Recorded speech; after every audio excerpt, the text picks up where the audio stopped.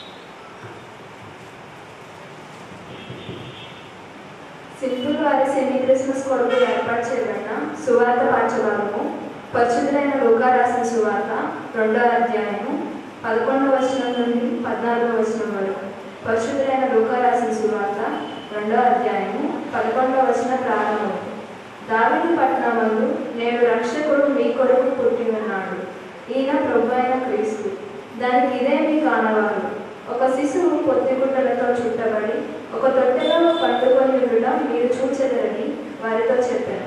వెంటనే పరలోక సైన్య సమూహము ఆ దూతతో కూడా నుండి సర్వోన్నతమైన స్థలంలో దేవునికి మహిమయు ఆయన ఇష్టమైన మనుషులకు భూమి మీద సమాధానం కలుగును గాక అని దేవునికి స్తోత్రం చేయించుదని దైవంతులని పేజ్ యాక్షన్స్ అని.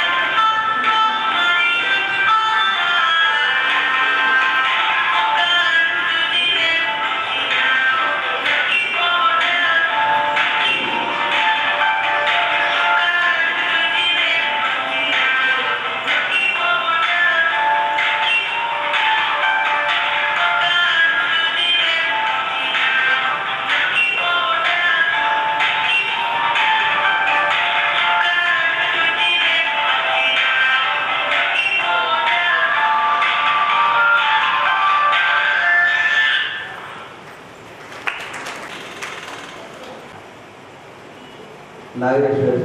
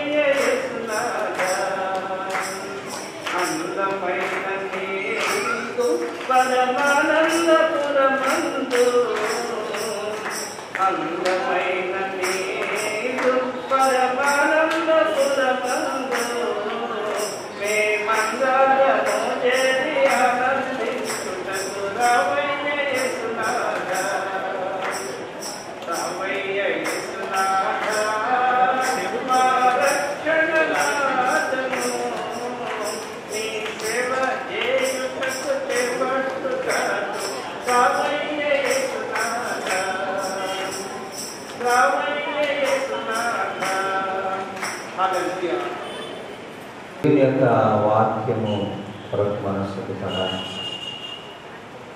వాక్య సందేశం అందించగాను ఏలూరులో చక్కటి దైవశాల కొనసాగుతున్న ఫిలడెల్ఫియా చర్చి సంఘ నాపులు బ్రదర్ క్రిమి అబ్రహాం గారు మాకు నచ్చినటం చాలా సంతోషంగా నేను భావిస్తున్నాను మరి వాళ్ళు కలిసి ఈ వేదికపై ఏదైతే చేయని దేవుని స్థుతించడానికి నేను ఇష్టపడచ్చు.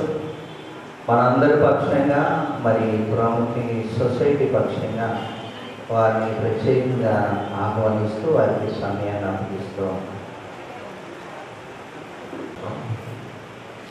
మమ్మల్ని మిగిలిగా ప్రేమిస్తున్న మా పట్ల తండ్రి రాత్రి ప్రత్యేకంగా సొసైటీ వారు తయారు చేసిన ఈ సెమీ క్రిస్మస్ కార్యక్రమంలో ఈ యోగ్యత లేని నాకు ప్రభావం ఇచ్చిన ఈ అవకాశాన్ని బట్టి ఎన్నో మనం స్తోత్రం చెల్లిస్తున్నాం ఈ రాత్రి కొద్ది నిమిషాలు నీ మాటలు తండ్రి బిడ్డలందరికీ తెలియజేస్తుండగా ప్రభా వారి హృదయాలను మీరు ముట్టండి మనస్సులను ముట్టండి ప్రభా ఈ రాత్రి వేళ తండ్రి నీ మాటలు బలమైనవి చుట్టెత్తిన దారుల కంటే బలమైన ప్రభు మధురమైనవి తండ్రి నీ మాటలు మమ్మల్ని బ్రతికించేవి తండ్రి.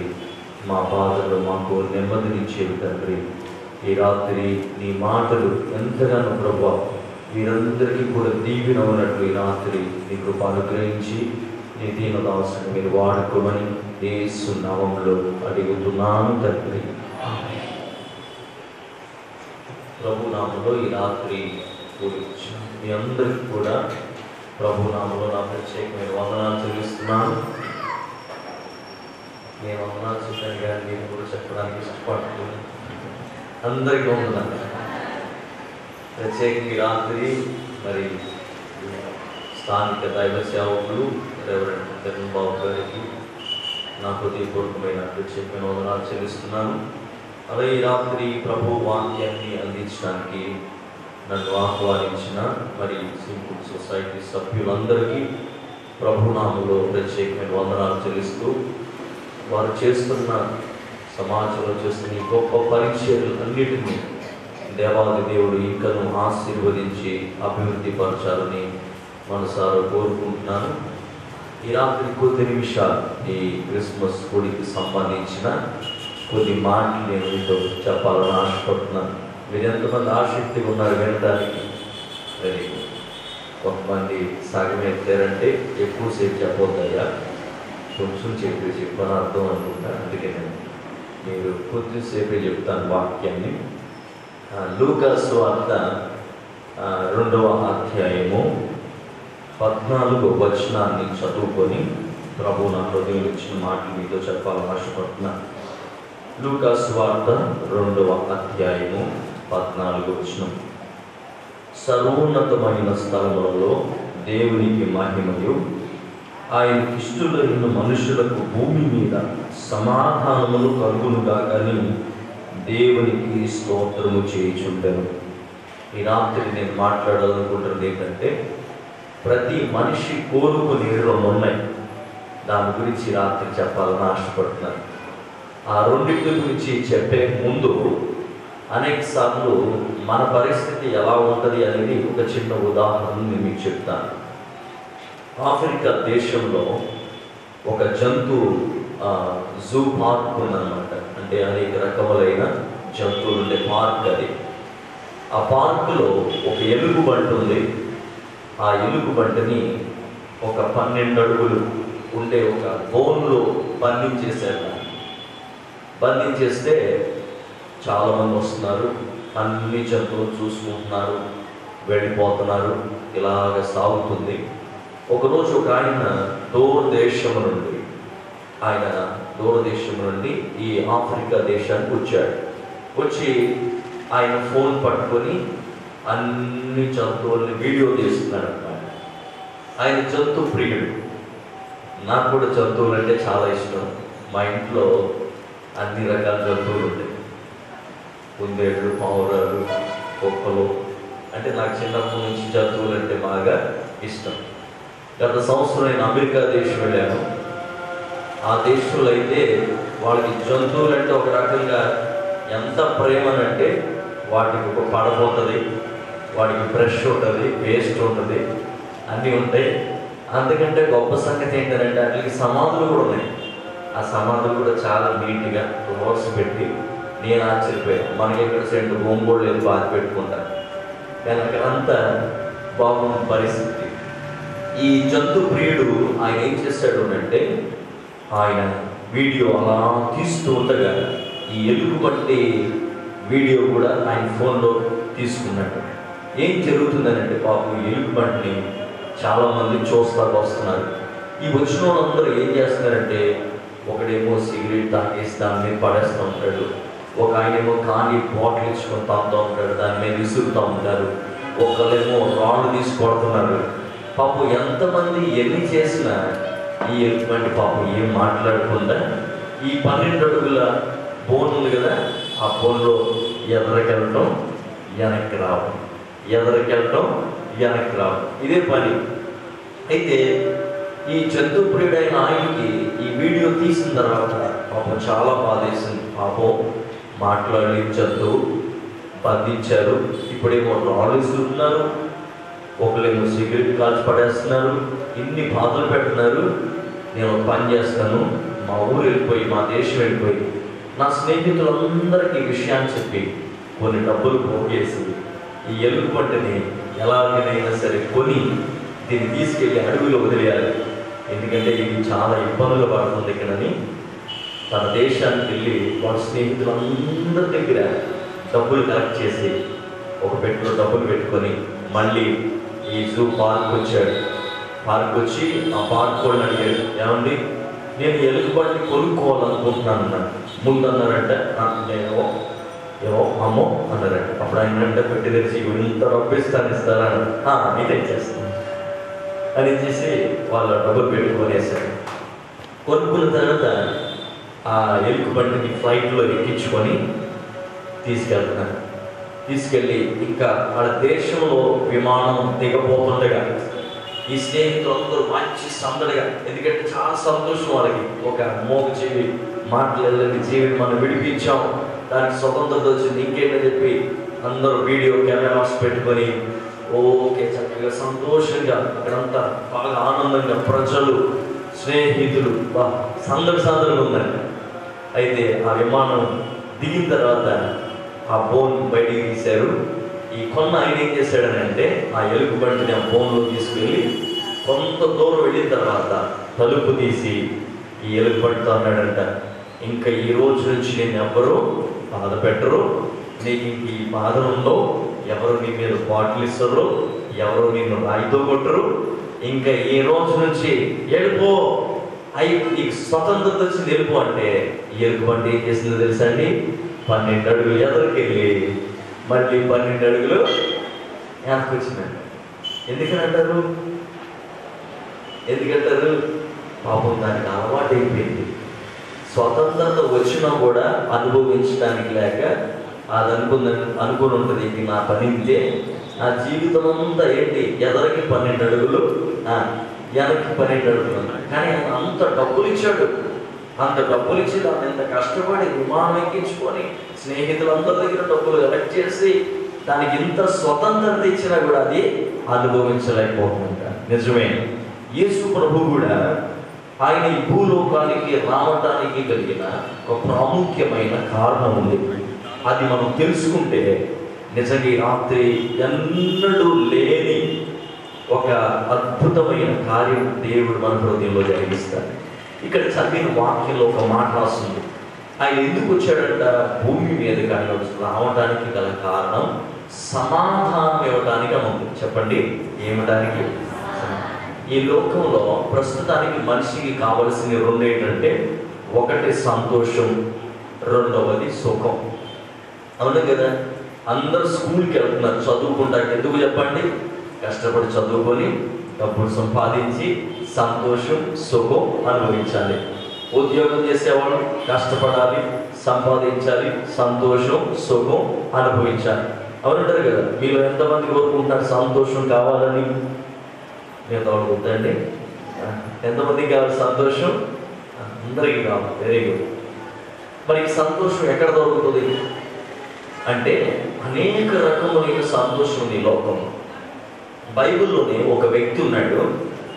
ఆయన పేరు సొలోమోన్. చెప్పండి ఆయన పేరేంటి? సొలోమోన్. వెరీ గుడ్ ఈ సొలోమోన్ ఆయన ఆయన మహాజ్ఞానవంతుడై ఎంత జ్ఞానవంతుడు అంటే అంత జ్ఞానవంతుడు. దేవుడు అంటాడు అసలు ఇలాంటి వాడు ఉండదు భూమి మీద కొట్టడం జ్ఞానవంతుడు మాత్రమే కాదు ఆయనకి ఎంత డబ్బు అంటే అంత డబ్బు ఉంది. అయితే ఈయన ఏం చేశాడనంటే ఆకాశము క్రింద నా మాటలు వినండి. ఆకాశము క్రింద సంతోషాన్ని అనుభవించడానికి ఏ రకంగా అనుభవించాలో అన్ని ప్రయత్నాలు చేశాడండి. మనము పాటలు వింటున్నప్పుడు చిన్న ఓఫర్ కొనుక్కుంటాం ఇంట్లో పెట్టుకుంటాం.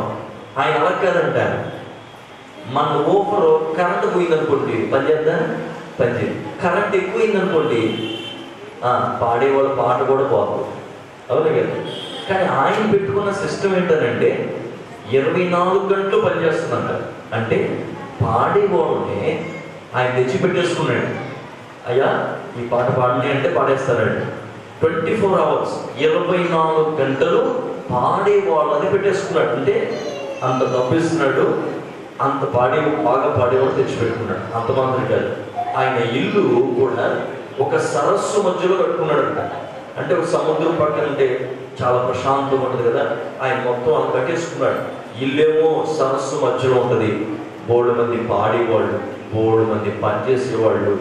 అసలు సుఖమును ఏ విధంగా అనుభవించాలో అన్ని రకాలుగా అనుభవించాడట సంతోషాన్ని డబ్బులిచ్చి. త్రాగి తిరిగి చూసి అన్ని. అయితే ఇంత అనుభవించి సంతోషాన్ని ఈయన చివరికి ఏమన్నాడు తెలుసా అండి? అంత వ్యర్థమే అన్నాడు. చెప్పండి ఏమన్నాడు? అంత తోడు చెప్పాడంటే అర్థం ఉంది. అవునంటారు కదా? అంత డబ్బు ఉండి అన్ని పనులు ఆకాశం కింద చేసి చివరికి ఏమన్నాడు? అంతా వ్యర్థమే. ఎందులోనూ సంతోషం లేదన్నాడు. నిజమే. చిన్న ఉదాహరణ చెప్తాను మనకు కూడా. మనకి చిన్న ఇల్లు ఉందనుకోండి. ఏమని కోరుకుంటామంటే పెద్ద బిల్డింగ్ ఉంటే బాగుంది ఒక నాలుగైదు గదులు ఉంటే బాగున్నాను అనుకుంటాం మన ఆశ మంచిదే. ఎందుకని? సంతోషించాలి. పెద్ద ఇల్లు కొన్న తర్వాత ఏమంటో తెలుసా? ఓరి బాబోయ్ ఎందుకు ఈ నాలుగు గదులు కొడుకులేదు ఒక గదులు? ఈ గదులు తొడవలేక వీటిని శుభ్రం చేయలేక వీటిని మెయింటైన్ చేయలేక చచ్చిపోతుంది ఆ చిన్న ఇల్లే మీరు అనిపిస్తుంది. ఎప్పుడు? పెద్ద ఇల్లు కొనుక్కున్నా. చిన్నపాటి బండి ఉందనుకోండి కారు. చిన్న కారు బాగోలేదు. పెద్ద కారు ఉంటే బాగున్నాను అనుకో పెద్ద కారు కొన్నాక ఏమనుకుంటా తెలుసా? అయ్యి బాబు ఏ రోడ్లో ఎంత ట్రాఫిక్ అంటే ఈ పెద్ద కారు కంటే చిన్న నాన్న ఉంటే సరిపోతాను అనుకుంటా అంటే మనిషి ఏదో కావాలి ఏదో పొందుకుంటే సంతోషం అనుకుంటాడు. నేను చాలాసార్లు గమనించింది ఏంటంటే మనం మామూలుగా మనం మామూలుగా ఏం చేస్తామంటే చిన్న చిన్న ఇదివరకు ఏం చేసేవాళ్ళు? ఇస్త్రాకుల్లో అవునే కదా? ఈ బనానా చాకుల్లో అట్టాకుల్లో భోజనం చేసేవాళ్ళు. ఇప్పుడు అందరూ హైఫై అయిపోయింది. ప్లేట్లన్నీ మోడర్న్ ప్లేట్స్ వచ్చేసినాయి రకరకాల రంగుల ప్లేట్లు అన్ని డాన్స్ ప్లేట్లు రకరకాల. అయితే మనిషి ఎక్కువగా అన్ని కూడా అనుభవించి అనుభవించి అనుభవించి మళ్ళీ ఎక్కడికి వచ్చేస్తాడు తెలుసా? అబ్బా చిన్న అట్టాకులు తింటే పలే ఉండదే అని అనిపిస్తుంది పెద్ద పెద్ద స్థితికి వెళ్ళిపోయిన తర్వాత అనుకుంటాడట. అబ్బా ఒక కొబ్బరి చెట్టు కింద కూర్చుంటే అంత ప్రశాంతంగా ఉండదు అని అనిపిస్తుంది. అంటే ఏంటి అర్థం? సంతోషం కోసం మనిషి ఎన్నో ప్రయత్నాలు చేస్తున్నాడు. సంతోషం సమాధానం అనుభవించాలి కానీ ఎన్ని అనుభవించినా అక్కడికి వెళ్ళిన తర్వాత అందులో అతనికి తృప్తి కలుగడలేదు అయితే నిజమైన సంతోషం మరి ఎక్కడ ఉంది నిజమైన సమాధానం ఎక్కడ ఉంది ఈ రాత్రి అది మనందరం పొందుకోవాలి. ఎంతో ఆశపడుతున్నారు వెరీ గుడ్ ఎలా పొందుకోగలుగుతామంటే అసలు ఎక్కడుంది? నిజమైన సంతోషం ఎక్కడుంది? నిజమైన సమాధానం ఎక్కడుంది? ఎందుకంటే ఏమీ లేకపోయినా ఆ సంతోషం సమాధానం ఉంటే చాలు. అవునంటారు కదా చెప్పండి? మనకి సంతోషం ఉంటే చాలు. ఎన్ని బాధలు ఉన్నా సరే హ్యాపీగా ఉంటే సరిపోతుంది కదా. ఎందుకు మనకి బాధలు? సో బైబిల్ గ్రంథంలో ఒక కీర్తన ఉంది. పదహారవ కీర్తన. ఈ పదహారవ కీర్తనలో సంతోషము సుఖము ఎక్కడుందనేది చెప్పాడు కీర్తనాకారుడు. చెబుతూ ఆ సంతోషానికి ఉన్న నాలుగు రహస్యాలు చెప్పాడు. నేను కూడా ఆ నాలుగు రహస్యాలు చెప్పడానికి వచ్చాను. అయ్యి బాబాయ్ నాలుగు రహస్యాలు అంటే ఎంతసేపు చెప్తారని మీరు అనుకోవచ్చు. నేను ఎక్కువసేపు చెప్పను. నాలుగు ఐదు ఇరవై నిమిషాలు చెప్పను. చాలా క్లుప్తంగా ఒక పాయింట్ దాని అర్థం. ఒక పాయింట్ దాని అర్థం చెప్పి ముగించేస్తాను. చూడండి పదహారవ కీర్తన ఎవరైనా చదివేవాళ్ళు ఉంటే పదహారవ కీర్తన పదకొండవ వచనంలో ఆ మాట రాస్తుంది. నిజముగా ఎక్కడ సంతోషం ఉంది అనేది. పదహారవ కీర్తన పదకొండవ వచనం. జీవ మార్గము నీవు నాకు తెలియజేసేదవు నీ సన్నిధిని సంపూర్ణ సంతోషం కలదు. సంపూర్ణ సంతోషం కలదు. నీ కుడి చేతిలో నిత్యము సుఖము కలదు. నిత్యము సుఖములు కలదు. సంతోషం ఎక్కడుందంట? దేవుని యొక్క సన్నిధిలో. ఇప్పుడు మనందరం ఎక్కడికి వచ్చాం? మా గురించి మాట్లాడాలి మీరు. మనందరం ఎక్కడ ఉన్నాం ఇప్పుడు? దేవుడు సార్ వెరీ గుడ్ అంటే ఇప్పుడు ఇక్కడ ఏముంది? చెప్పండి ఇక్కడ ఏముంది? సంతోషం ఉంది. మరి ఈ సంతోషాన్ని తీసుకొని వెళ్దామా? లేకపోతే వినేసి వెళ్ళిపోతాం వెరీ గుడ్ తీసుకుని వెళ్దాము మనందరం? మరి సంతోషం ఇక్కడ ఉంది. ఈ సంతోషాన్ని ఎలా పొందుకోవచ్చు అని అంటే సింపుల్గా నాలుగే నాలుగు మాటలు అదే కీర్తనకారుడు మనకి చెబుతున్నాడు. చూడండి. మొదటి వచనం నుంచి చదువుతున్నప్పుడు పదహారవ కీర్తనలో మొదటి వచనం చదివితే దేవా నీ శరణజొచ్చి ఉన్నాను నన్ను కాపాడుము. ఇప్పుడు నీవే ప్రభుడవు. నీకంటే నాకు క్షేమాగారము ఏది లేదని నేను యహోవాతో మనవి చేయించున్నాను. అంటే కీర్తనకారుడు అంటాడు. ఇక్కడ ఈ సంతోషం పొందుకోవాలని మొదటి మాట మనం ఏదో చెప్తే వస్తుందంట ఆ సంతోషం. సో ఎందుకు చెప్పకూడదు? చెప్పండి. చెప్పొచ్చా? సంతోషం ఎలా వస్తుందంట? చెప్పడం వల్ల వస్తుందంట. ఏం చెప్పాలి అని అంటే ఇక్కడ అంటున్నాడు నీవే ప్రభుడవు నీకంటే క్షమాధారము నాకేదియో లేదు అని నేను చెప్పుచున్నాను అని అంటాడు ఇంగ్లీష్ బైబుల్ అయితే. అయితే ఇక్కడ మీరు ఆలోచించుకుంటే ప్రభువుని యేసుక్రీస్తు ఏమన్నాడంటే నేను ఈ భూలోకానికి ఎందుకు వచ్చాను? అని అంటే ప్రజలకు ఏం కలిగించడానికి? సమాధానము సంతోషము. అందుకే ఆయనకి చాలా పేర్లు ఉంటాయి ఆలోచనకర్త నిత్యుడవు తండ్రి సమాధానకర్త అని చాలా పేర్లు ఉన్నాయి అంటే సమాధానం మనకే కర్త అంటే అర్థం ఏంటి? ఆయన దగ్గర ఏముంది? సమాధానం ఉంది ఆయన అంటాడు నేను మార్గమును సత్యము జీవము. ఆయన దగ్గర జీవం ఉంది. ఆయన దగ్గర చాలా ఉన్నాయంట. అవన్నీ మనకి ఇవ్వటానికి దేవుడు ఏం చేశాడంటే ఈ భూలోకానికి వచ్చాడు. వచ్చినప్పుడు అవి మనం పొందుకోవాలి. ఆయన అందుకంటాడు దేవుడు అంట ఆయన ఆయన సమాధానమై ఉన్నాడు. ఆ సమాధానమైన దేవుడు కొన్ని చోట్ల అంటాడు నేను నీ మిమ్ములను సమాధానంతో ఆశీర్వదించుచున్నాను. నా సమాధానం నేను మీకు ఇచ్చుచున్నాను అని అంటాడు. అంటే ఆయనలో ఉన్నది ఆ సమాధానం ఆ సంతోషం జీవం ఈ రాత్రి మనం పొందుకోవాలి. ఇక్కడ సంతోషం పొందుకోవడానికి మొదట రహస్యం ఏంటి అని అంటే ఎవరిలోనైతే ఎవరిలోనైతే సంతోషం అనేది ఉందో ఆయనతో ఒక మాట చెప్పాలంట. ఏమని? అయ్యా నువ్వేనా ప్రభుడవు అని ఒక మాట చెప్పాలంట. చెబితే ఆయనకి మనకి మధ్యలో ఒక అగ్రిమెంట్ జరుగుతుంది. అర్థమవుతుందండి? ఆ అగ్రిమెంట్ వలన మన లోపలికి ఏమొస్తుందంట? సంతోషం వస్తుంది. అలా చెప్పండి. ఈ లోపల మీరు చూడండి మనం డబ్బులు పెట్టి సంతోషం కోసం కొనుక్కుంటాం కష్టపడి డబ్బులు పెట్టి పరుపు కొనుక్కుంటాం. సంతోషం పడుకోవాలి. కానీ నిద్ర పట్టకపోవచ్చు. సమాధానంగా దాని మీద మనం పడుకోకపోవచ్చు. అయితే ఆ నిజంగా సుఖంగా మనం పడుకోవాలంటే ఎవరి వల్ల నిద్ర మనకి దేవుడి మారి మన మనస్సుకి ఆయన ప్రశాంతత ఇస్తే అప్పుడు అమ్మాయి ఆయన మనతో ఉన్నాడు సమాధానం ఇస్తాడు నా దగ్గరే ఉన్నాడు అన్న నమ్మకం కలిగినప్పుడు మనకి ఏం కలుగుతుంది? సమాధానం. సో మొదటి రహస్యం ఇక్కడ ఏంటి అని అంటే సంతోషం సమాధానం కలగడానికి మొదట రహస్యం ఏంటి అని అంటే కీర్తనకారుడు అంటున్నాడు నేను దేవునితో ఏం చేస్తున్నాను? మనవి చేస్తున్నాను. చెప్పండి ఏం చేస్తున్నాను? అంటే చెప్పుతున్నాను. అది కరెక్ట్ ఏంటంటే చెప్పుతున్నాను. చెప్పటం వేరు అడగటము వేరు. నా మాట అర్థమైందా మీకు? క్రైస్తవ పెళ్ళిలో భర్త లేకపోతే భార్య ఇద్దరికి ప్రమాణాలు చేస్తారు. చేయించినప్పుడు భర్త ఏమ ఏమంటాడు? నేను నిన్ను భార్యగా స్వీకరించుకుంటున్నాను. కష్టమైనను బాధ అయినను వ్యాధి అందును నేను నీతోనే ఉంటాను. అని అంటాడే కానీ ఉండమంటావా? ఉండనా? అని అంటాడా? అడుగుతాడా? చెప్తాడా? చెప్పదమ్మా. అడుగుతాడా? చెప్తాడా? చెప్తాడు. అంతేగాని ఉంటానంటావా ఉండమంటావా? అది అడగటం కానీ ఇక్కడ ఏమంటున్నాడంటే చెబుతున్నాడంట ఏమని? నువ్వే నా ప్రభుడవు ఈ రాత్రి వేళ మనకి సమాధానాన్ని ఇవ్వటానికి వచ్చిన దేవునితో ఈ రాత్రి హృదయంలో నుంచి ఒక మాట చెప్తే చాలండి ఏమని ప్రభువా నీవేనా దేవుడవు? ఈ మాట చెప్తారు నాతో పాటు కీర్తనకారు చెప్పినట్టు చెప్పండి ప్రభువా నీవేనా ప్రభుడవు? ఆ మాట చెప్తే ఏమొస్తుందంట సంతోషం వస్తుంది. దాన్ని రోమిలకు రాసిన పత్రికలు అంటాడు నీ హృదయమును నమ్మి నోటితో నీవు ఒప్పుకో. అంటే జస్ట్ నోటితో కాదు ఆ మాట హృదయంలో మనము నమ్మాలంట ఒక ముసలావిడి కొత్తగా ఇదివరకు మనకి సిటీ బస్సులు ఉండేవి. బస్సు ఎక్కింది ఆవిడ. అప్పుడే ఫస్ట్ టైం అనమాట పాపం ఇంట్లో ఎక్కి బస్సు ఎక్కి ఇంటికి వెళ్ళిపోయిన తర్వాత కొడుకుల దగ్గర మనవాళ్ళ దగ్గర సంతోషం చెప్తుందంట అబ్బా నేను బస్సు ఎక్కాను. అసలు ఎంత బాగుంది తెలుసా బస్సు? ఎంత స్పీడ్కి వెళ్తాడు ఎంత స్పీడ్కి వెళ్ళిపోతుంది బస్సుని. ఇలా కన్నాడంతే ఆగిపోయింది.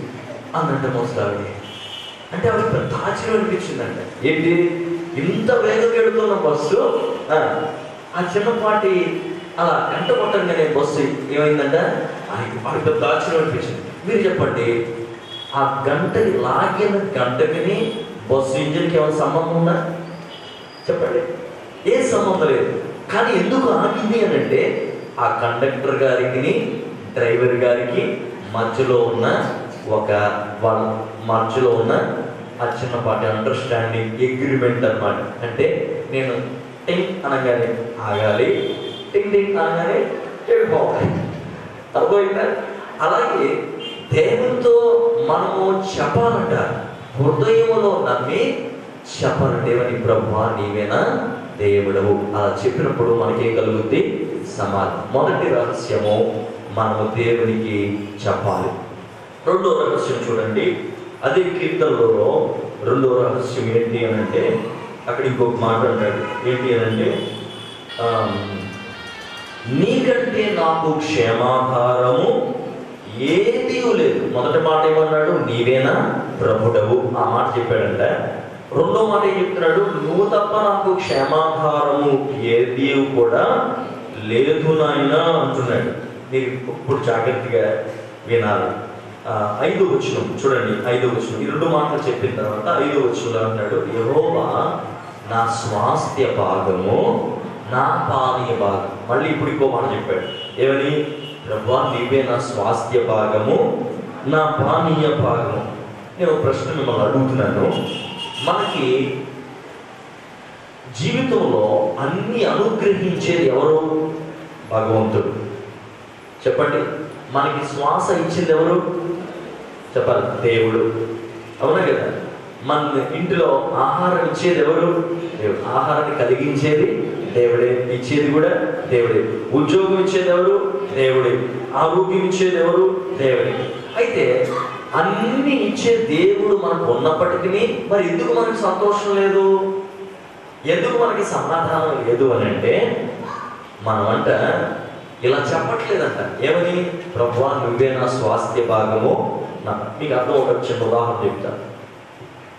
చాలాసార్లు మనకి టెన్షన్స్ ఉంటాయి. ఒత్తిడి గురైపోయి సమాధానం కోల్పోతాం.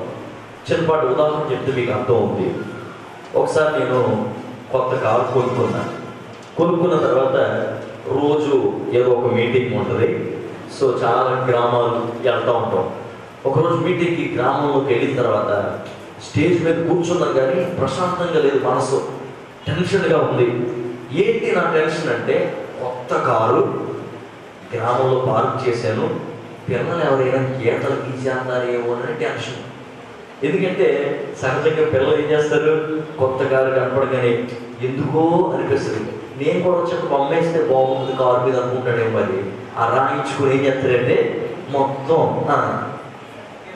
ఏం చేస్తాడు? గీతలు అదొక సంతోషం. అతనికి. అవును కదా మన ఇంట్లో అందుకే చిన్నపిల్లలు ఉంటే మనం వేసే రంగులు కాకుండా వాళ్ళు కొన్ని రంగులు వేస్తూ ఉంటారు. అవును కదా. ఈ నా తెలిసిన ఏంటంటే కారు ఏమో అక్కడ ఉంది. ఇక్కడ కూర్చొని ఓ టెన్షన్ పడిపోతున్నాయి ఏం చేయాలి? అవి ఒకవేళ కారు గీతలు తీసేస్తారేమో అనుకుంటుంటే దేవుడు నాతో ఒక మాట చెప్పాడు. ఏమన్నాడంటే అయ్యా నువ్వు ఎందుకు ఎక్కడికి వచ్చావు నేను అన్న ప్రభు వాక్యం చెప్పడానికి వచ్చాను. నువ్వు చేయవలసిన పని ఏంటి? వాక్యం చెప్పాలి ప్రభు. ఏం చేస్తున్నావు? కారు గురించి టెన్షన్ పడుతున్నావు అప్పుడు దేవుడు అన్నాడు ఒక పని చేయి కావున సంగతి నాకు వదిలే. నువ్వు వచ్చిన పని నువ్వు చూసుకో. లేదంటే వచ్చిన పని మానేసి కారు దగ్గరికి వెళ్ళిపో అంటే అర్థం ఏంటి? నేను ఎప్పుడైతే నువ్వే నా స్వాస్థ్య భాగమో నువ్వే నా పానీయ భాగం అని చెప్పితే అర్థం ఏంటంటే నా దేవుడు అవన్నీ చూసుకుంటాడు. సో నేను టెన్షన్ పడాల్సిన అవసరము లేదు అని అర్థం. అవును కదా? మనం ఉత్తరే టెన్షన్ ఇప్పుడు మన పిల్లలు హాస్టల్లో చదువుతారు. మనకి ఎందుకు టెన్షన్ నాకు అర్థం అవ్వదు. ఇంట్లో కూర్చొని ఫోన్ చేశాడో లేదో పడుకున్నాడో లేదు అది మనకు కనపడటం మనం వెళ్ళలేము ఏమి చేయలేము. కానీ మన ఆలోచన ఏంటి? తిన్నాడో లేదో పడుకున్నాడో లేదు చదువుకున్నాడో లేదు ఎన్ని టెన్షన్లు అంటే ఈ టెన్షన్ వల్ల ఉపయోగం ఉందంటారా? ఏమీ లేదు. వాడి టైంకి తింటాడు ఆకలిస్తే తింటాడు లేకపోతే లేదు. అయితే మనం ఆ టెన్షన్ పోవడానికి చేయగలిగిన గొప్ప పని ఏంటంటే సంతోషం ఉండడానికి చేయగలిగిన పని ఏంటంటే చిన్నపాటి ప్రార్థన. ప్రభా బిడ్డలు దేవుడు అనుగ్రహించు బహుమానం. నా భా వాళ్ళు నువ్వు ఇచ్చిన భాగంనైనా ఆ భాగాన్ని నువ్వే కాపాడుకోవా నువ్వే చూసుకోనైనా నువ్వే చల్లగా వాళ్ళతో ఉండి వాళ్ళకి కావలసినన్ని చూడునైనా అంటే టెన్షన్ మనకి ఉంటుందా చెప్పండి?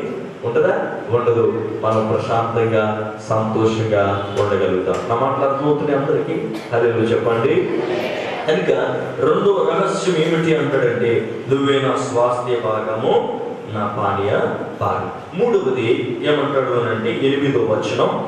మూడవది ఎనిమిది వచనంలో? సదాకాలము యహోవాయతే నా గురి నిలుపుచున్నాను. మూడవది కీర్తనకారు అన్నాడు సంతోషం కావాలంటే మూడోదంట ఎప్పుడు దేవుడిని మనం ముందర పెట్టుకోవాలంట. చెప్పండి దేవుడు మనం ఏం చేయాలి? ముందర పెట్టు అంటే అర్థం ఏంటి? దేవుని వచ్చిన ఫోటో మన ఏదైనా జోకులు పెట్టుకోవాలనే కాదు. దాని అర్థం ఏంటంటే మనం ఎటు వెళ్ళినా ఏ పని చేసినా దేవుడిని మనం తలంచుకొని తండ్రి ఇదిగో ఈ పనికి వెళ్తున్నాను నాకు సహాయం చేయనైనా ఇదిగో నేను వెళ్తున్నాను. నేనైతే చేయలేను. నా ముందు ఉండి నాకు సహాయం చేయ ప్రభు అని చిన్నపాటి ఒక మాట చెప్పడం అంట మొదటి మాట ఏమని చెప్పాలి? నువ్వేనా ప్రభుడవు? రెండో మాట ఏం చెప్పాలి? నువ్వు ఆస్తి భాగము నాకు ఇచ్చినవన్నీ నువ్వే ఇచ్చావు నాయన. నాకు ఆరోగ్యం ఇచ్చేది నువ్వే. అన్ని ఇచ్చేది నువ్వే. అవన్నీ నువ్వే కాపాడు ప్రభా. నేను దేని గురించి టెన్షనో పడను ప్రభా అని రెండు చెప్పాలంట. మూడవది ఏమని చెప్పాలంట? ప్రభా నువ్వు ఎప్పుడు నా ముందుండి నడువు నాయన చెప్పాలంట. దేవుడు మన ముందు ఉన్నాడు అనుకోండి. ఏ సమస్య వచ్చినా ముందు దేవుడా సమస్య లేకపోతే ముందు దేవుడా? చెప్పండి. ముందు మన దేవుడు ఉంటే సమస్య వచ్చిన ముందు ఎవరు ఉన్నట్టు? దేవుడు. తర్వాతే సమస్య.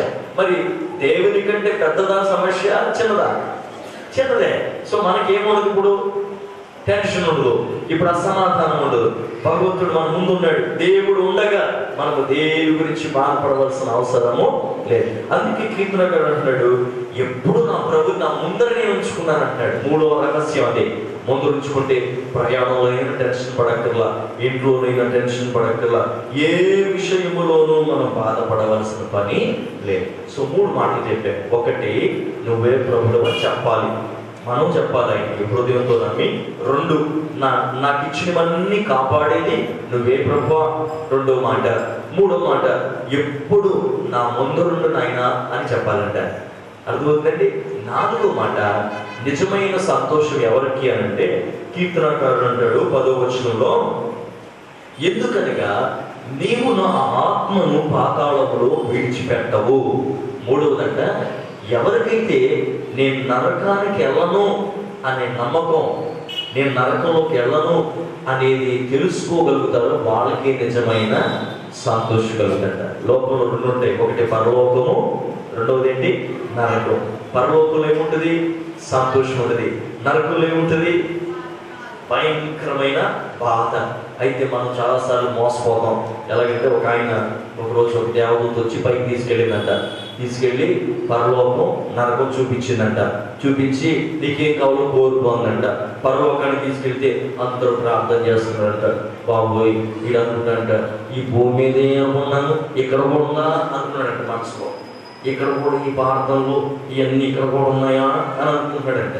సర్లేని కొంచెం పక్కకు తీసుకెళ్ళి నరకాన్ని గురించి చూపిస్తే అక్కడ అందరూ డ్యాన్స్ చేస్తున్నారట మంచి సంతోషిస్తున్నారట ఓహా ఓహో అనుకుంటారట ఈ ఇతను అన్నాడంట నాకు అదే కావాలంట ఏంటది? నరకం. సరే నీ దోతుందంట సరే తీసుకో. అనగానే ఈ దొత్తు తీసుకెళ్ళి అక్కడ పడేసిన తర్వాత ఏడవటం మొదలుపెట్టి బాబోయ్ కాలిపోతున్నాను బాబోయ్ ఇదేంటి ఇక్కడ ఉన్నానని. అమ్మ దేవదూత మోసం చేసేసింది. ఇందాకేమో ఇదిగో సంతోషం అంది ఇదంతే అదంది ఇక్కడ చూస్తేనే కాలిపోతున్నాం బాధలు ఎలాగెలగని. దోతను అడిగిందంటే ఏంటి ఎలా చేసి అంటే దోత ఇందాక నేను నీకు చూపించింది అడ్వర్టైజ్మెంట్ అన్న. ఏంటి? నరకం యొక్క అడ్వర్టైజ్మెంట్. మనం చూడండి ఈ పేస్ట్ వాడండి మీ తెలు మీ పళ్ళు బాగా తెల్లగేయడం అది వాడిన తర్వాత పళ్ళు ఊడిపోతాయి. అవునే కదా? ఇది మనం చాలా అడ్వర్టైజ్మెంట్ ఉంటాయి రోడ్డు మీద చూస్తుంటారు. ఇక్కడ భోజనం చేయండి ఇది చాలా శ్రేష్టమైన భోజనం ఇక్కడ బాగుంటుందండి. అక్కడ ఫోన్ చేశారు ఒక వారం రోజులు నేను ఫోన్ చేస్తాను అవునా కదా? అంటే ఇది ఏంటి? బయటికి మాత్రం అడ్వర్టైజ్మెంట్ చూపించి లోపలికి వెళ్ళిన తర్వాత ఏమి ఉండదు అనమాట అలాగే అందుకనే ఇక్కడ ఏమంటాడంటే నాలుగోది సంతోషం కావాలంటే మన మనం ఎదు ఎక్కడికి వెళ్ళను నేను నరకమునకు వెళ్ళను అన్న నమ్మకము మన హృదయంలో ఉండాలి. యేసు ప్రభు కూడా ఈ లోకంలోకి వచ్చింది. ఎందుకు తెలుసా? మనం నరకంకి వెళ్ళకుండా మనల్ని కాపాడడానికి వచ్చాడు. స్తోత్రం చెప్పండి గట్టిగా. ఆఖరి మాట ముగించేస్తాను. ఐదో మాట ఏమన్నాడంటే జీవ మార్గము నీవు నాకు తెలియజేశాడు. చెప్పండి ఏ మార్గము? అందుకే చెప్పాలి ఏ మార్గము జీవ మార్గం అంటే యేసు ప్రభువే జీవ మార్గం ఆయన అన్నాడు నేనే మార్గము. చెప్తారు కొంచెం సత్యము జీవం అన్నాడు. అంటే ఏంటి డిఫరెన్స్? ఇప్పుడు మీ అందరిలో జీవం ఉంది. ఉందా లేదా చెప్పండి? అందరిలో జీవం ఉందిగా? అందుకే ఇక్కడికి వచ్చాం కూర్చున్నాం వాకి వింటున్నాం. నేను అడుగుతుంటే మీరు కూడా రెస్పాండ్ అవుతున్నారు. అంటే మీలో ఏముంది? జీవం మాట్లాడుతున్న నాలో ఏముంది? రోడ్డు మీద ఎడుతున్న వాళ్ళు ఏముంది? జీవం ఉంది. మరి యేసు ప్రభు నేను కూడా జీవం అన్నాడు మరి ఆయనలో ఉన్న జీవానికి మనలో ఉన్న జీవానికి తేడా ఏంటి? అని అంటే యేసు ప్రభు మాట అంటాడు ఆయన. నాలో ఏ జీవం ఉందంటే నిత్య జీవం ఉంది అని అంటాడు ఏ జీవం అంట? నిత్య నిత్య జీవం అని అంటే నిలకడగా ఉండే జీవము. మంది నిలకడ ఉండదా చూడండి ఈ ఫోన్కి అయితే వారంటీ ఉంది. కానీ నా బ్రతుకుకి గ్యారంటీ లేదు. వారంటీ లేదు. నీటి బుడక లాంటిది నా జీవితం ఎప్పుడు ఆగిపోద్దో తెలియదు ఈ వాక్యం పూర్తి చేద్దాం లేదో కూడా తెలియదు అంత గ్యారెంటీ ఉంది నాకు. అవునా? లోకంలో అన్నిటికీ పై పైన తిరిగే ఫ్యాన్ కూడా ఉంది వారంటీ మన బతుకులు లేదు వారంటీ అవునా కదా? అందుకనే దేవుని మాట్లాడిన దేవుడు కదా యేసు ప్రభువులో ఏముందంట? నిత్య జీవం ఉంది. చెప్పండి ఏముంది? ఇంకో చోట అంటాడు ఆ జీవము నేను సమృద్ధిగా మీకు ఇవ్వడానికి వచ్చానంటాడు ఎంత ఇవ్వడానికంట సమృద్ధిగా ఇవ్వడానికంట మరి ఇప్పుడు మైక్ ముందు మాట్లాడడం చాలా సులువు. అవునా? చాలా మంది అంటారు ఉదాహరణ మనకి ఎన్నికలు జరుగుతున్నాయి అనుకోండి. ఎన్నికల ముందు ఏమంటారంటే మేము మీతోనే ఉన్నాం. ఏం బాధపడకండి. మేము మేము ఇస్తాం కెరోసిన్ ఇస్తాం అది ఇస్తాం ఇది ఇస్తాం అని కూర్చుని చాలా మాటలు చెప్తారు. మనం కూడా చప్పట్లు కొడతాం. తర్వాత రేషన్ లేదు బియ్యం లేదు ఏమీ లేదు. అంటే మైక్ ముందు ఓ చెప్పేటు ఈజీ నేను ఇస్తానని నా దగ్గర ఉందని చెప్పడం. యేసు ప్రభు కూడా మరి నేను జీవము? అని అన్నాడు. జీవం అనుకుంటే ఆయనలో ఏముంది? జీవం ఉందా? ఎలా నిరూపించుకున్నాడు అంటే బైబిల్లో ఆయన భూలోకానికి వచ్చిన తర్వాత నాలుగు సందర్భాల్లో జీవానికి ఆపోజిట్ ఏంటో చెప్తారా? చెప్పండి. జీవానికి వ్యతిరేకం ఏంటి? మరణం. అంటే మరణాన్ని ఎదుర్కోగలిగిన వాడికి నిజంగా జీవం ఉన్నట్టు. యేసు భూలోకానికి వచ్చి నాలుగు సందర్భాల్లో మరణించిన వారిని ఆయన తిరిగి లేపాడు. అంటే జీవానికి విరోధమైన మరణం ఓడిపోయినట్ట? గెలిచినట్ట? ఓడిపోయింది. అవునా? యాయ్యూరు కుమార్తె నయ్యూరు విధవరాలి కుమారుడు లాజరస్సు. అవునా? కలవరి శిలువలో ఈ నాలుగు సందర్భాల్లో మరణాన్ని జయించి ఏసై అన్నాడు నేనే జీవ మార్గం ఆ మార్గాన్ని ఈ రాత్రి మనం తెలుసుకోగలిగితే నడవగలిగితే మనకు కూడా దేవుడు ఇస్తాడు. చెప్పండి? సమాధానము సంతోషం. నా మాట్లాడుతుందా సో ఈ రాత్రి మనకి ఏం కావాలి? యేసు ప్రభు ఎందుకు వచ్చాడు ఈ భూలోకానికి? ఈ క్రిస్మస్ అంటేనే ఆనందం క్రిస్మస్ అంటేనే సంతోషం. ఈ సంతోషం ఇవ్వడానికి ఏసై వచ్చాడంట. ఆ సంతోషం ఎక్కడుందంట? ఆయన సన్నిధిలో ఉందంట. ఇప్పుడు నేను పొందుకోవాలంటే ఏం చేయాలంట? నాలుగైదు ఐదు మాటలు. ఒకటి నేను చెప్పాలి నువ్వు ప్రభుడు అని. రెండోది అయ్యా నాకున్నవన్నీ నీయే ప్రభా. అట్లన్నీ నువ్వే కాపాడునైనా. మూడవది నా ముందర నిలబడునైనా. నన్ను నడుపునైనా. నాలుగవది నన్ను నరకానికి మాత్రం ఎలనవునైనా ఐదవది జీవ మార్గమైన ఆ మార్గంలో నాకు నిరంతరము జీవం ఇచ్చి నన్ను తల వచ్చి ప్రార్థన చేసుకున్నా తల వచ్చింది ప్రార్థన చేసుకున్నా ఈ రాత్రి ప్రభు మనకు వినిపించిన మాటలు ఒక్కరి నా పానీయ భాగము నీవే ప్రభు. ఎల్లప్పుడూ నా ముందరుండి నన్ను నడిపించిన నరకంలో వెళ్ళిపోకుండా నన్ను కాపాడు జీవమార్గంలో నిరంతరం నన్ను నడిపిస్తూ నీ జీవము నాలో ఇచ్చి నన్ను బలపరిచి నిలబెట్టి నువ్వు ఇచ్చే ఆశీర్వాదం నువ్వు ఇచ్చే సంతోషం నువ్వు ఇచ్చే సుఖము నువ్వు ఇచ్చే నిత్య జీవం నేను కూడా పొందుకుంటానికి సహాయం చేయండి. అది అనుగ్రహించిన ఆయన ఒక మాట ఏంటారా అందరూ కలిసి ఒక్క ప్రార్థన చేద్దాం. బైబిల్లో ఒక ఆయన ఎప్పేజ్ అని ఉంటాడు. ఆయన పేరేంటంటే ఆయన ప్రార్థన చేశాడు. వేదన పుత్రుడు అంట ఆయన పేరేంటి? చాలా బాగా సమాధానం సంతోషం లేదు. అప్పుడు అంటే చిన్న ప్రార్థన చేశాడంట. నాలుగు ముక్కలు ప్రార్థన చేశాడు. మీరు కూడా నాతో పాటు చేస్తారా? ఎంతమంది చేస్తారు? నేను చేసినట్టు మీరు చేయాలి. నాలుగు ముక్కలు చేశాడు. మొదటి మాట నన్ను ఆశీర్వదించు. రెండో మాట "సరే, రాకుండా నన్ను కాపాడు. ఓకేనా? సో మీరు నాతో పాటు ఇప్పుడు చేయాలి. మొదటి మాట ఇలా పెట్టండి. నన్ను ఆశీర్వదించు. నా వెంక చూడండి. రెండో మాట సరిహద్దులు విశాలపరచు. వెరీ గుడ్ మూడవది నాకు తోడుగా ఉండు. నాలుగో మాట ఏ కీడు రాకుండా నన్ను కాపాడు. దేవుడి కొద్ది మాట దీవించుడుగా మాస్టర్ గారు గారు అందరు కూడా సంతోషించండి. వేయడానికి దేవుడు ఇచ్చిన అవకాశాన్ని బట్టి దేవుడికి వందనాలు తెలియజేసుకుంటూ ఈ సంవత్సరం మొదటి క్రిస్మస్లో నేను వేసే ఏకపాత్ర యోన. యోన యొక్క పరిస్థితి. యోన ఇనివే ప్రజలకు సువార్తను తెలియజేసిన పరిస్థితి. యోన తాను ఏ స్థితిలో నుంచి ఏ స్థితికి వచ్చి చేశాడు అనేటువంటి సందర్భాలు మీ మధ్యలో ప్రదర్శించబోతూ ఉన్నాను. దయతో గమనించండి. సువార్తను స్వీకరించండి. యోనాను బట్టి యోనాను గురించి మనం కూడా ఈ దినం నేర్చుకుందాం. నా పేరు యోనా. నీకు తెలుసా? యోనా అంటే పౌరము అని అర్థము. నేను ఒక చిన్న ప్రవక్తను. బైబిల్లో ఉన్న ప్రవక్తల్లో నేను ఒక చిన్న ప్రవక్తను. ఇంతకీ ప్రవక్త అంటే ఏంటో ప్రవక్త అంటే జరగబోయే సందర్భాల్ని ముందుగా తెలియపరచడమే ప్రవక్త యొక్క ఉద్దేశం. దేవుడి ఉద్దేశాలను ప్రవక్త ద్వారా ముందుగా మీ మధ్యలోనికి తెలియపరుస్తూ ఉంటా మా ఊరి పేరు గెతహ్పరు మా ఊరి పేరు గెతహ్పరు నేను ఒక అమితీయ కుమారుడును. యోనాను నేనే. దేవుడు తరచుగా నాతో మాట్లాడుతూ ఉంటాడు. ఈ దినం దేవుడు మాట్లాడుతూ ఉన్నాడు.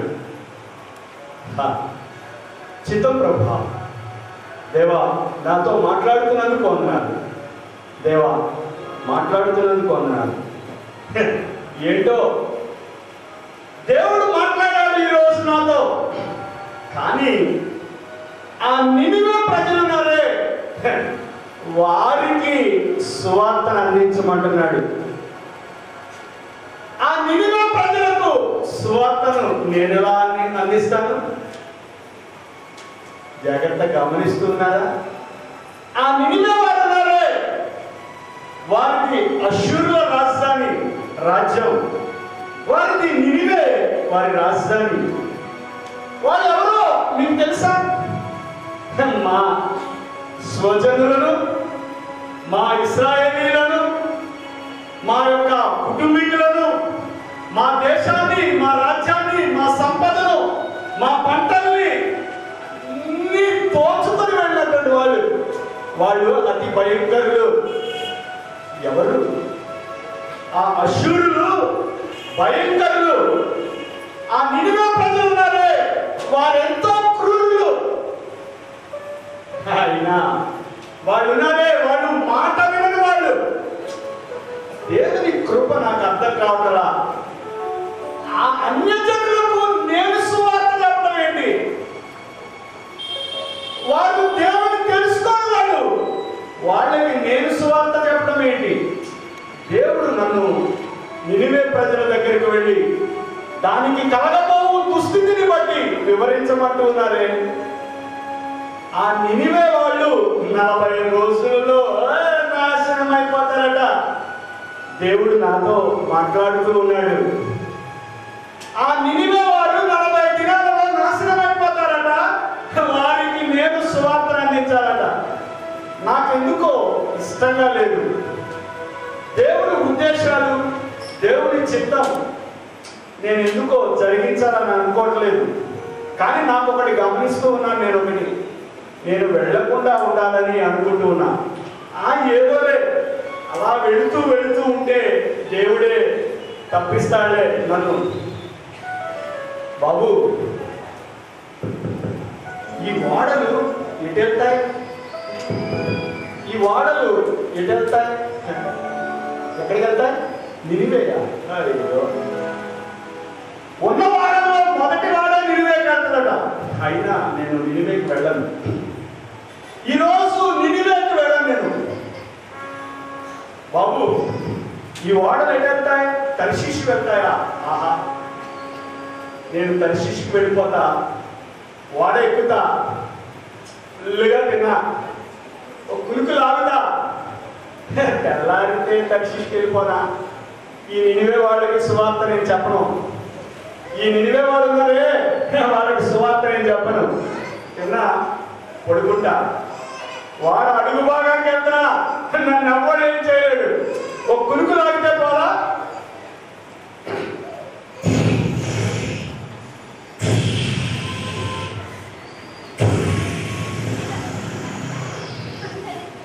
ఓ ఈ నిద్రపోతా. నీవు లేచి నీ దేవునికి ప్రార్థన చెయ్యి. ఆ, ఎవడా ఓ ఈ నిద్రపోతా. నువ్వు లేచి నీ దేవునికి ప్రార్థన చేయి. ఎవడది ఎవడది బాబు ఏమిటి? ఏమిటి నీ సంగతి అయ్యా ఏమిటి? ఏం జరిగింది? వాడని తేలిక చేస్తారా మీ ఇష్టం చేయండి అయ్యా నాకేంటి? సరుకులు ఎత్తి పడేస్తున్నారా? పడేయండి నాకేంటి? అయ్యా నేనేం చేశానయ్యా? మీరు వాళ్ళని తేలిక చేసుకోండి. చీట్లు వేస్తారా? చీట్లు వేస్తారా? నాకేంటయ్యా వేసుకోండి అయ్యా చీట్లు. ఏంటి నా వ్యాపారం అడుగుతున్నావా? నా వ్యాపారం గురించి నీకు తెలియదు నా దేశం అడుగుతున్నావా? నా దేశం గురించి కూడా నీకు అనవసరం. నేను ఎవరినా ఏంటది? నేను ఎవరినా ఓయ్ జాగ్రత్తగా మాట్లాడు. చూస్తున్నావా? నేను ఎవరిని అనుకుంటున్నావు? నేను ఒక హెబ్రియుడిని నేను ఒక యూదుడిని నేను ఒక పాస్టర్ని. ఆకాశం ఉందే ఆ ఆకాశానికి ఈ సముద్రం ఉందే ఈ సముద్రానికి ఆ దూరంగా కనిపిస్తుందే ఆ భూమికి సర్వ సృష్టికి ఆధారభూతుడైన యెహోవాని ప్రార్థన చేస్తూ భయభక్తులు కలిగిన హే, నేను ఒక పాస్టర్ అయ్యా నన్ను అడుగుతున్నావేంటి నా దేశం నా ప్రాంతం నేను పాస్టర్ని ఏంటి నన్ను చీట్లు వేసుకుంటారా? వేసుకోండి మీ పేర్లు వస్తాయి.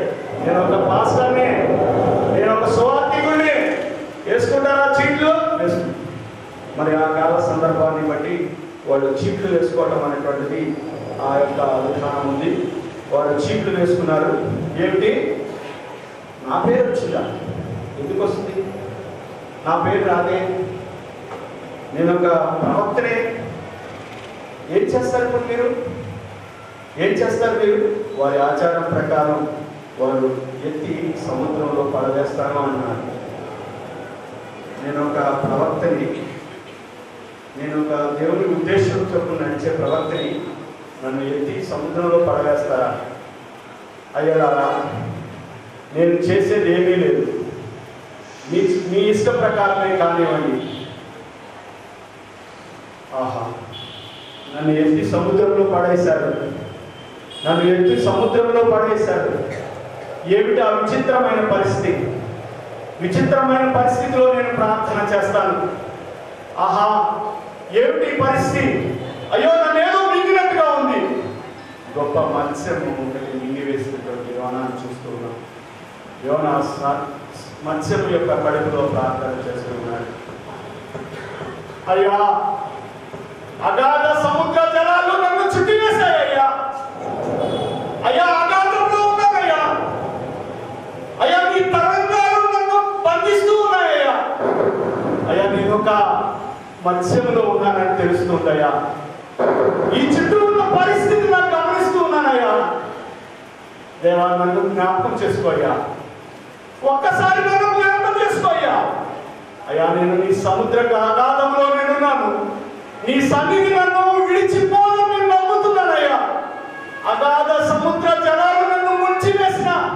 నీ తరంగాల కోసం నన్ను విప్పతి పెడుతున్నా. ఈ మత్స్యము కడుపులో నన్ను ఒక్కసారి జ్ఞాపకం చేసుకో. అలా జరిగిన సందర్భాన్ని బట్టి యోన యోనాన్ని మత్స్యము కక్కి ఎక్కడో తెలుసా? గమనించారా? ఎక్కడంటారు? ఎక్కడంటారమ్మా?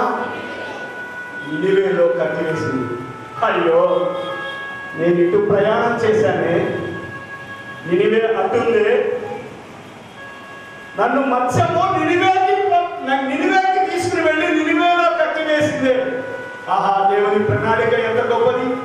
దేవుడు తన ఉద్దేశాలను తన తన యొక్క చిత్తాన్ని నెరవేర్చడానికి. యోనా అంగీకరించకపోయినా సృష్టిలో ఉన్న ప్రతి అంశీభూతాల ద్వారా దేవుడు మాట్లాడుతూ ఉంటాడు ప్రియా సంగమ. గమనిస్తున్నారా? నేను సువార్త చెప్పకపోతే దేవుడు నన్ను కాదు. ఈ సృష్టిలో ఉన్న ప్రతి అంశంతో దేవుడు సువార్త అందిస్తూ ఉంటాడు. చూద్దాం దీని నివే పట్టణానికి వెళ్దాం. ఎంత అందంగా ఉంది. ఆహా ఎంత ఎంత గొప్పగా ఉంది. అబ్బా ఏం కట్టడాలు? ఈ గవిని నుంచి లోపలికి వెళ్తానే ఇంత అందంగా ఉంది. అబ్బో చాలా సౌందర్యంగా ఉంది ఈ నినివే పట్టణం. కానీ వీళ్ళందులే వీడు దేవుడు మాట విన్నోడే ఏ అయినా నాలో బుద్ధి మట్టికి మారటం లేదు. దేవుడు నాకు బుద్ధి చెప్పినా మారటం లేదు. బాబు ఈ నినివే మొత్తం తిరగడానికి ఎన్ని రోజులు పడుతుంది? మూడు దినాలా? ఏంటది? మూడు దినాలు మేము ఈ సువార్త చేయాలా? ఈ వీళ్ళక ఓ పని చేద్దాం దేవుడు ఏదో చేశాడు నన్ను. కట్టి వేస్తే కట్టి వేశాడు. కానీ నాకెందుకో ఇష్టం లేదు. మూడు దినాలు ప్రయాణం చేసి నినివే ప్రజలకు సువార్త అందించడం నాకు మనస్సుకు అంగీకరించడం లేదు. ఒక్క రోజు చేస్తా. మారితే మారేడు ఆ మారకపోతే నాకేమొచ్చింది? ఒక్కరోజు దేవుని స్వార్థ చెప్తా. మారితే మారాలి మారకపోతే నాకేంటి? ఎందుకు వచ్చింది? ఇటు వెళ్దామా? ఇటు వెళ్దామా? ఇటు వెళ్దాం జనాలు వేరు వైపు వెళ్తాం. అబ్బో చాలా మంచి నగరాలా ఉంది. జనాలు చాలా ఎక్కువ మంది ఉన్నారే. ఇది వద్దు. ఈ చిన్న సందులో చూసుకుంటా. ఈరోజు ఈ చిన్న సందులో సువార్త చెప్పి అలా ఇలా చెప్పొచ్చేస్తా? వీడు మారితే ఎంత మారకపోతే ఎంత? నేను ఇటు వెళ్ళి సువార్త చేస్తాను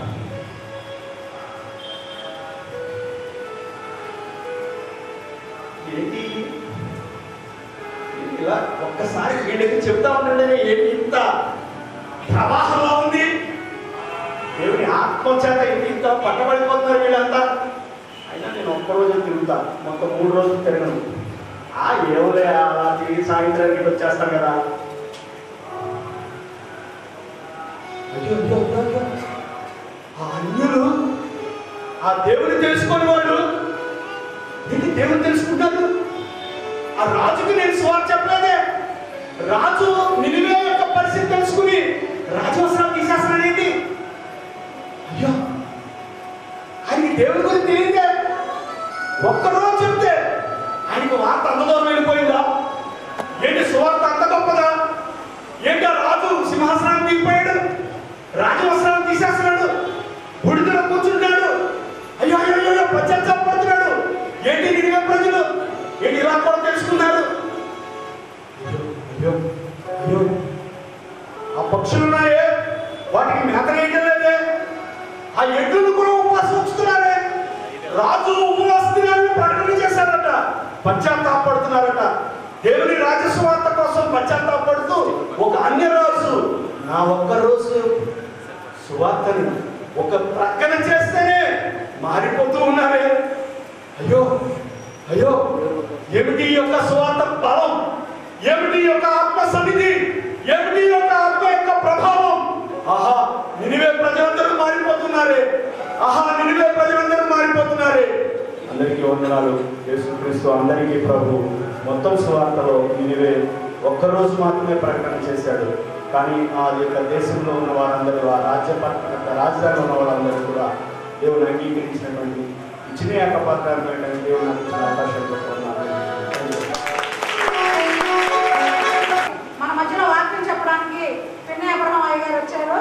అయ్యగారు ఉపవాస ప్రాంతంలో ఉన్నారు.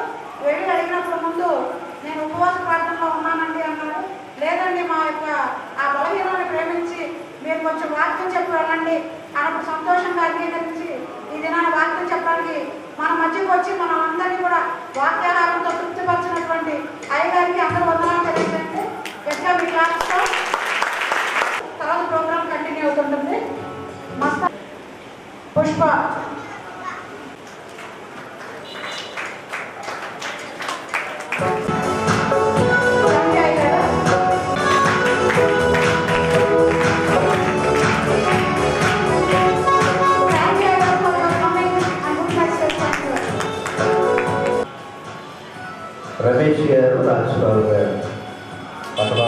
పట్టబాబుగా రమేష్ uh, గారు లేడీస్ అందరికి వందనాలు వేదిక అనేటువంటి అరుణబాబు గారికి మాస్టర్ గారికి వెళ్ళిపోయినటువంటి శ్రీ అబ్రహం గారికి విచ్చేసిన విశ్వాసం అందరికి కూడా దేవుని పేరిట సింపుల్ సింపుల్ అని. దాని ఎబ్రివేషన్ ఎంతమందికి తెలుసా నాకు తెలియదు ఒకసారి దాని ఎబ్రివేషన్ కూడా చెప్తాను. Sundari Aijayya memorial peace love and ఎగ్మెకర్ అనేక ఫుడ్ డెకరేషన్ సింపుల్ అండ్ సింపుల్గా పెట్టారు మరి పెట్టి సుమారు మరి పది సంవత్సరాలు అయింది. రేపు పదకొండవ సంవత్సరం మనం కూడా ప్రవేశించుకుంటున్నాం వీరి యొక్క సేవ మరి సండే స్కూల్ పిల్లలందరికీ చేస్తున్నారు. ఆరోగ్యం లేని వారికి బలహీనుల మధ్య మరి పేదవాళ్ళకి కూడా సేవ చేస్తూ ఉంటారు మరి బాలురు వసతి గృహంలో సేవ చేస్తున్నారు గ్రామాల్లో పనిచేసి చేస్తున్నారు అవసరమైన వారికి ప్రార్థనా సహవాసాన్ని అందిస్తున్నారు. గ్రామాల్లో ఉచిత సండే స్కూల్స్ కూడా ప్రతి పిల్లల్ని దేవుళ్ళకి నేర్పిస్తున్నారు రిట్రీట్స్ కూడా నడుపుతున్నారు. మరి ఈ సింపుల్ ప్రజలను బట్టి ఈ పరిచర్య చేస్తూ ఉన్నారు. ఇది ఏలూరులోనే కాక మరి జగన్నాథపుర గ్రామంలో తెప్పగూడెం పెరుమాకంక మసీద్పాడు ధర్మాజగూడెం మొదలైన ప్రదేశాల్లో చేసుకుంటున్నాం మరి ఇక్కడ వచ్చిన విశ్వాసంలో చాలామంది ఈ పరిచర్యలో పారిభాగస్తులై వారికి సహాయం కూడా చేస్తూ ఉన్నారు మరి మీరందరూ కూడా ఈ సహాయం చేస్తూ దీన్ని బలపరుస్తున్నందుకే మీ అందరికి కూడా దేవుని పేరుట వందనాలు. ఒకటో కొరింది పదిహేను యాభై ఎనిమిదిలో మార్చి ఇక్కడ బైబిల్ సమావేశాలు చూడండి. ఒకటో కొరింది పత్రిక పదిహేనో అధ్యాయము యాభై ఎనిమిది. ఒకటో కొరింది పత్రిక పదిహేను అధ్యాయం యాభై ఎనిమిదో వచ్చిన. తీసిన వాళ్ళు ఒకసారి చదవండి. లేదా నేనే చదువు నీ ప్రయాసము సహోదరులారా మీ ప్రయాసము ప్రభువునందు వ్యర్థము కాదని ఎరిగి స్థిరులను కదలని వారును ప్రభు కార్యాభివృద్ధి అందు ఎప్పటికీ ఆసక్తులై ఉండు. చాలామంది ఏమనుకుంటామంటే కొంత సహాయం చేసిన తర్వాత ఇది చాలే దేవునికి ఇచ్చాం కదా ఇది సరిపోతుంది కదా అని అనుకుంటూ ఉంటారు కానీ ఇక్కడ వాక్యం ఏం చెప్తుంది మీ ప్రయాసము ప్రభువునందు వ్యర్థము కాదని అడగండి మరి ఎంత చేసినప్పటికి కూడా ప్రభు సేవ ఎంతో మిగులుతానే మరి ఎంత సహాయం చేసినప్పటికీ పేదలకు సహాయం చేసిన పరిస్థితి మన మీద అందుకనే ఇక్కడ కొరిన పత్రిక ఏమన్నాడు మీ ప్రయాసము ప్రభువునందు వ్యర్థము కాదని ఎరిగి స్థిరులను కదలని వారును ప్రభు కార్యాభివృద్ధి ఎందు ఎప్పటికీ ఆసక్తి లేదు. ఈ వంద ఇచ్చాం ఏమి ఇచ్చాం ఇక్కడతో సరిపోతుందిలే అని ఎప్పుడు కూడా మన అకౌంట్ అంతా కూడా ఎక్కడ ఉందండి ఈ సేవింగ్స్ బ్యాంక్లో ఉన్నదేమో కానీ పర్లోక బ్యాంకులో మటుకు మన అకౌంట్ మటుకు ఉంటాం.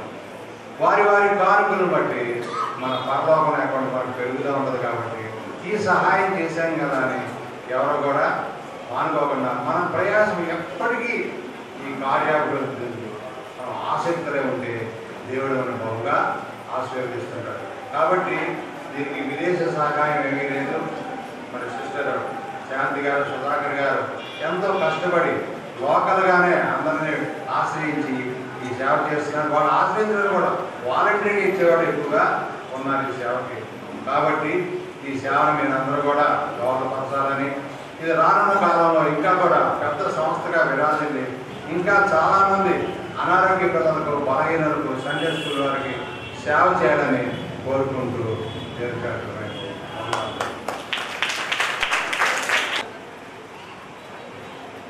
ప్రభు నామకు స్తోత్రము. పరిశుద్ధుడైన దేవుని నామంలో మీ అందరికీ కూడా వందనాలు చెల్లిస్తున్నాను. మరి ఈరోజు చాలా శ్రేష్టమైనటువంటి రోజుగా నేను భావిస్తున్నాను. పది సంవత్సరాల క్రితం ప్రారంభమైనటువంటి ఈ సింపుల్ అనేటువంటి సంస్థ బహు భారభరితమైనటువంటి బరువు మొయ్యలేనటువంటి స్థితిలో భుజాలకెత్తుకొని బలహీనులైనటువంటి వారిని జ్ఞాపకం చేసుకుని వారికి ఈ బలహీనులైనటువంటి సుధాకర్ సహోదరి శాంతి పది సంవత్సరాలుగా ఈ కార్యక్రమాన్ని ఈ విధంగా నిర్వహిస్తున్నారంటే నిజంగా వారిని అభినందిస్తూ మీ అందరికీ కూడా శుభాకాంక్షలు తెలియజేస్తున్నాను. మరి ముందుగా సెమీ క్రిస్మస్ అనేటువంటి ఒక కార్యక్రమాన్ని ఇప్పుడు కూడా ఒకటో తారీఖున డిసెంబర్ ఫస్ట్ నిర్వహిస్తూ ఉంటారు. మరి ఈ సెమీ క్రిస్మస్ లాంటిదే మన బైబిల్లో కూడా ఉంది. లూకస్ వార్త మొదటి అధ్యాయం నలభై నాలుగో వచనంలో మన ప్రభు వారు మరియ గర్భంలో పడగానే మరియ గారి యొక్క కజిన్ ఎలిజబెత్ గారు నా గర్భంలోని శిశువు ఆనందంతో గంతులు వేసి. అంటే ప్రభు వారి యొక్క క్రిస్మస్ ఆగమనకి ముందుగా తర్వాత ఇంకా కొంచెం క్రిందకు వెళితే నలభై ఆరు నలభై ఏడవ వచనాలు మరి తల్లి తను ఆనందంతో ఆమె ఉన్నట్టుగా నలభై ఆరు ఇక మూడో విషయానికి వచ్చేటప్పటికి ఇదే విషయము క్రీస్తు పుట్టిన తర్వాత నేరుగా ఈ వార్త గొల్లె గొర్రెల కాపలకు తెలియదు. మరలా ఇదే వార్త పండితులు ఖగోళ శాస్త్రవేత్తలు జ్ఞానులు అనబడుతున్నటువంటి వారికి తెలియదు. అంటే క్రీస్తు వారి యొక్క జన్మం ప్రతి ఒక్కరికి క్రీస్తు వారి యొక్క ఆగమనానికి ముందుగానే తర్వాత ఆగమనంలో తర్వాత ఈ జ్ఞానుల వరకు అంటే సకల ప్రజాపటి ఈ శుభవర్తమానం తెలియదు.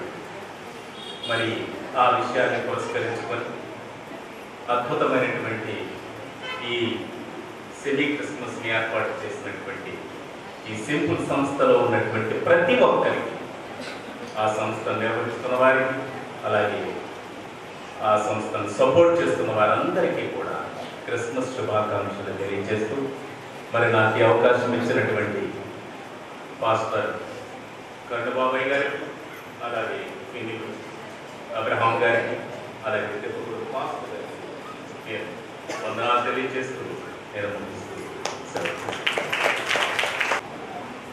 గట్టిగా మాట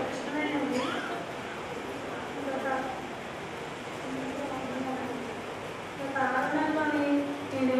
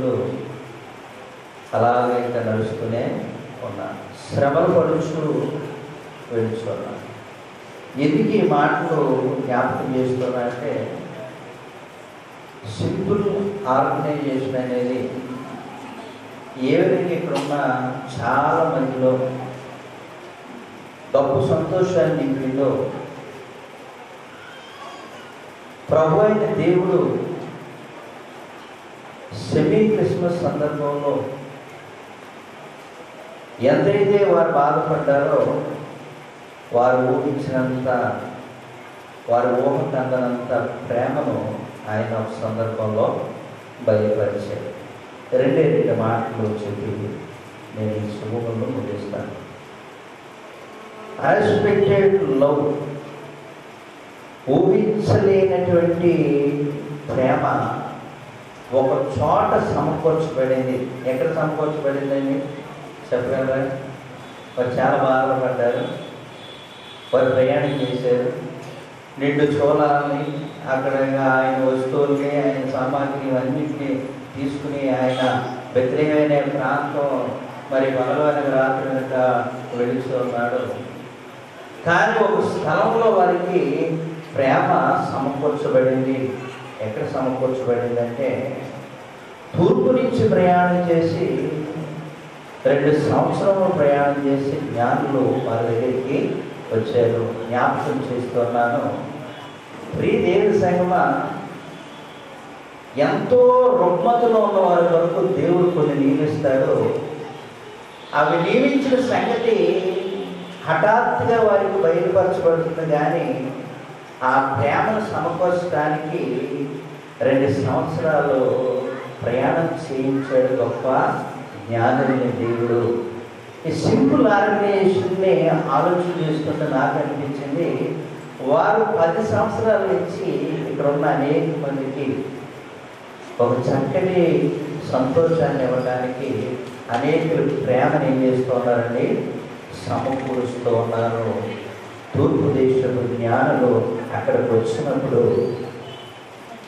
ఏసేపు మరీ అనుకుంటూ ఉన్నారు మేము విడిచిపెట్టబడలేదు ఏమనుకుంటూ ఉన్నారండి? మేము విడిచిపెట్టబడలేదు ఏసేపు అనుకుంటూ ఉన్నాడు నేను అవమానం పొందలేదు మరి అనుకుంటోంది నేను అవమానము పొందలేదు. ఇదిగో తూర్పు దేశం నుండి నక్షత్రాన్ని చూసుకుంటూ ఆ నక్షత్రం ఎక్కడైతే వచ్చి ఆగిందో ఆ నక్షత్రం కింద మన కుమారుడు దైవ కుమారుడు అని ఎరిగారు ఎరిగి ఆ ఊహించలేనటువంటి ప్రేమను తట్టుకోలేకపోవచ్చు. అలాగే గొర్రెల కాపరులు ఆ పొలంలో నుంచి ఆ బిడ్డ చుట్టూ చేరినప్పుడు ఆ మహిమను చూచి ఆ దేవదూతులను చూచి ఆ గొర్రెలు కాపరులను చూచి వారి నుంచి సాగిల పడటం చూచి మేము పుణ్య దంపతులం అని వారు అనుకున్నారు. అన్ఎక్స్పెక్టెడ్ లవ్ జీసస్ యేసు క్రీస్తు ప్రభు వారు ఊహించలేనటువంటి ప్రేమ మీకు ఇస్తారని జ్ఞాపకం చేస్తున్నా రెండు సంవత్సరాల క్రితం ప్రవచనాల ద్వారా తూర్పు జ్ఞానంతో దేవుడు మాట్లాడితే హఠాత్తుగా లేని దేవుడు దర్శించాడు. అటువంటి ఊహించలేని ప్రేమ దేవుడు ఇచ్చాడు. అలాగే రెండో మాట unexpected light in our life ఊహించలేనట్టు వెలుగును వారు చూచారు. చీకటిలో ప్రతిపోతున్నారు దంపతులు చీకట్లో ఆ బిడ్డలు కని తల్లి ఎంతగానో వేదన ఆ చలి ఉండలేకపోవచ్చు అన్నది కానీ ఆ అన్ఎక్స్పెక్టెడ్ లైట్ అనేది హఠాత్తుగా ఒక వెలుగు వచ్చింది. ఆ వెలుగులో ఆశీర్వాదం ఆ వెలుగులో వేడి ఆ వెలుగులో మరి సెక్యూరిటీ భద్రత అనేది దేవుడు నియమించాడు. ఆ అన్ఎక్స్పెక్టెడ్ లవ్ని దేవుడు జ్ఞాపకం చేస్తాడు. ప్రియ దేవుడి సంగమా దేవుడి ప్రేమ కాంతి వేగం కంటే ఎక్కువైంది. దేవుడి ప్రేమ ఏంటంటే ఎక్కువైందండి? కాంతి వేగం కంటే ఎక్కువైంది. అన్నిటికంటే కాంతి వేగం ఎక్కువ దేవుడు ప్రేమ దానికంటే ఎక్కువైంది. అటువంటి వెలుగుని మన జీవితాల్లో ప్రసరింప చేసే దేవుడు ప్రియదేవుడు దేవుడి అటువంటి వెలుగుని ఈ సింపుల్ ఆర్గనైజేషన్ వారు ఇక్కడ చేరి ఉన్న చాలా మంది జీవితాల్లో నింపుట ఆ ఆర్గనైజేషన్కి దాన్ని ఆర్గనైజ్ చేసేవారికి కమిటీ మెంబర్స్కి కూడా ఒక ప్రత్యేకమైన అభినందనలు నేను తెలియజేస్తూ ఇటువంటి మహాకృపలో మీరు పొందిన ఆ ఊహించలేనటువంటి ప్రేమ ఆ ఊహించలేనటువంటి వెలుగు చిరకాలం మీ జీవితాల్లో క్రిస్మస్ జరిపించుకోవటానికి క్రీస్తుని ఆరాధించడానికి మరి మిమ్మల్ని సిద్ధపరచాలని నేను కోరుకుంటూ మరి ప్రత్యేకమైన శుభములతో మరి మాటలు ముగిస్తూ ఉన్నాను ఆమె simple organisation report Shanti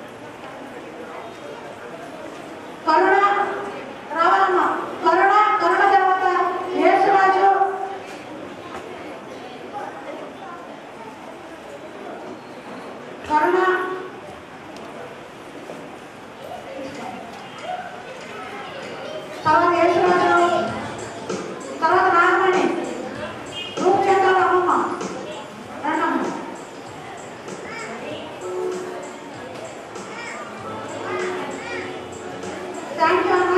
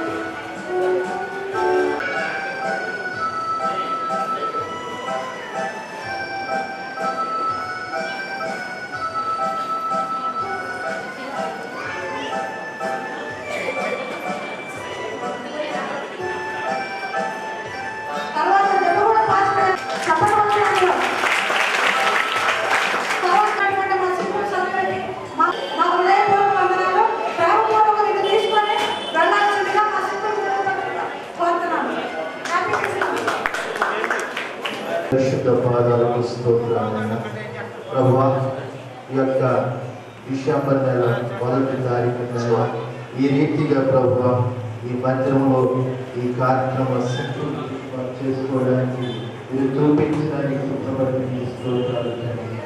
ప్రభా నీ సన్నిధిలో ఉన్న సంతోషాన్ని సమాధానాన్ని నెమ్మదిని ఆశీర్వాదాన్ని ఆదరణను చేరిన ప్రతి ఒక్క బిడ్డ పొందుకోవడానికి సహాయం చేయండి ఆ రోజు బెత్లహేములో ఉన్నటువంటి సంతోషం జ్ఞానులు అత్యానంద భరితుల ఏ విధంగా నిన్ను స్థుతించి ప్రభా వారి నైనా పెట్టు నింపి బంగారము సాంబ్రాణి గోళం నింపారు.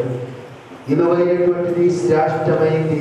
నీ సన్నిధిలో నైనా సమర్పించుకొని మా యొక్క మనసులో నీకిచ్చి ఇచ్చి మీరిచ్చే ఆశీర్వాదము నిత్య జీవము నిత్య రాజ్యానికి వారసులవడానికి సహాయం చేయండి ఈ సెక్యూరిటీ నడిపిస్తున్నటువంటి సిస్టర్ శాంత గారిని సుధాకర్ గారిని మీరు దీవించండి ఆశీర్వదించండి. దీనికి సంబంధించిన సభ్యులు కమిటీ వారిని ఆశీర్వదించండి. అంచెలంచెలుగా నైనా ఈ సహవాసాన్ని అభివృద్ధిలోనికి నడిపించండి నాయన. ఎంత ఘనంగా ఎంత ఆశీర్వాదకరంగా జరిగించడానికి చూపించిన కృపను బట్టి స్థానిక సంఘాన్ని ప్రభా సంఘ బిడ్డలను అలాగే నేను ఇక్కడ చేసిన ఆయా ప్రాంతాల నుండి ఆయా గ్రామాల నుండి వచ్చినటువంటి ప్రతి ఒక్క బిడ్డను కుటుంబాన్ని ఎయిడ్స్ పేషెంట్లు అలాగే అయినా చిన్న బిడ్డలను అనాథులను వారు చేస్తున్న ప్రతి ఒక్క పనిలో నీ కృపణించమని మంచి ఆరోగ్యము ఆశీర్వాదము దేవులతో నింపమని మా ప్రభు రక్షకుడైన యేసు క్రీస్తు వారి శక్తి కలిగిన నామములు ప్రార్థించి స్తుతించి వేడుకొంచున్నాము తండ్రి ఆమేన్.